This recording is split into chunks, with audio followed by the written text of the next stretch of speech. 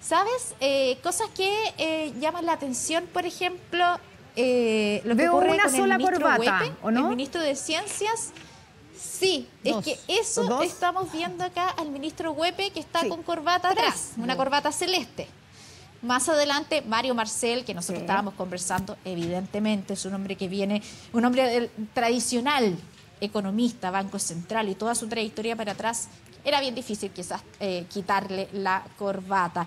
Y, eh, por supuesto, también otro detalle. Todos los demás, por lo que vemos de acá, vienen sin esta corbata. No, más atrás está el ministro de Ciencias. está- es el último que ustedes ven en la parte Sí. más alta a mano izquierda. También ahí el eh, ministro de Ciencias, eh, Flavio Salazar, está también con su corbata. El ministro Huepe, que es el ministro de Energía, también está con su corbata. Así que hay algunos ahí que en este caso vendría siendo al revés.